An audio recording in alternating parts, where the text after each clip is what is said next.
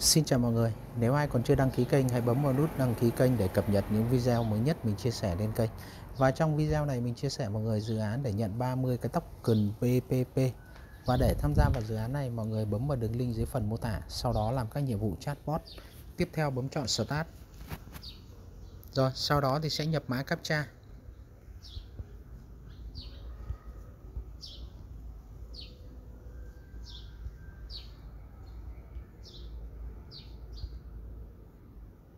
Rồi, sau đó chọn Continue.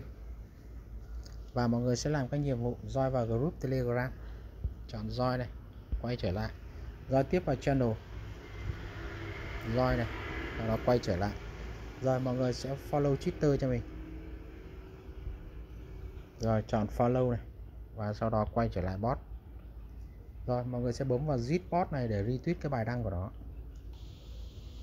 Rồi, chọn like và retweet sau đó thì sẽ quay trở lại. Do tiếp vào Discord.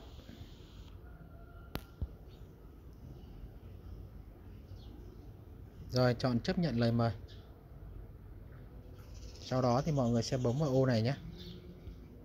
Và bấm chọn vào mũi tên này cho mình. Rồi, sau đó mọi người kéo lên và tích vào ô vuông. Và bấm chọn hoàn thành. Rồi, sau đó thì sẽ bấm lại vào đây. Và mọi người sẽ bấm vào đi thôi nào này và bấm vào cái like này nhé Ok, quay trở lại bot. Tiếp tục roi vào Facebook.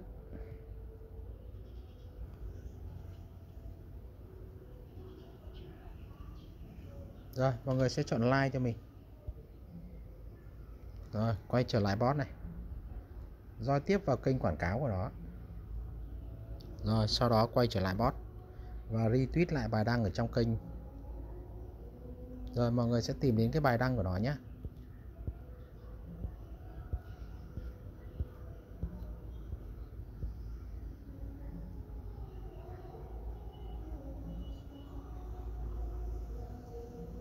Rồi, ok, ở đây này. Mọi người sẽ chọn like này Và retweet. Rồi, quay trở lại bot. Bấm chọn submit. Chọn don Nhập profile link Twitter. Mọi người copy này.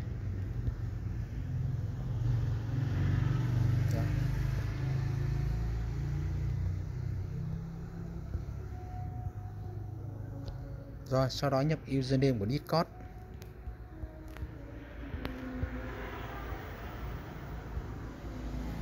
Rồi, tiếp tục thì mọi người sẽ nhập profile link của Facebook nhé Thì mọi người sẽ trở lại Facebook cho mình này.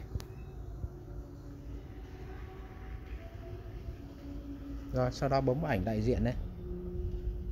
Mọi người sẽ bấm vào dấu ba gạch. Và sao chép liên kết này.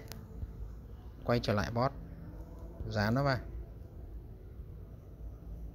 Rồi, tiếp theo chọn đôn. Chọn viết rồi, ở đây thì mọi người tiếp tục chia sẻ cái video gần nhất của nó nhé. Mọi người lại bấm vào YouTube này cho mình này. Rồi, bấm vào mục video nhé.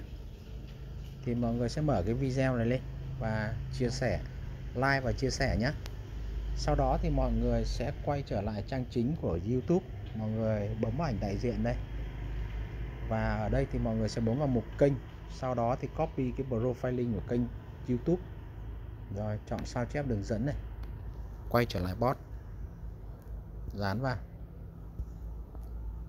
Rồi, tiếp theo mọi người sẽ nhập địa chỉ ví BSC cho mình.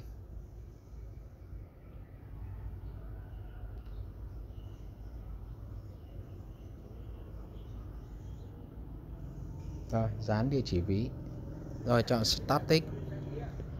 Ok mọi người, như vậy là mình đã hướng dẫn xong mọi người tham gia dự án. Hẹn gặp lại mọi người ở những video tiếp theo.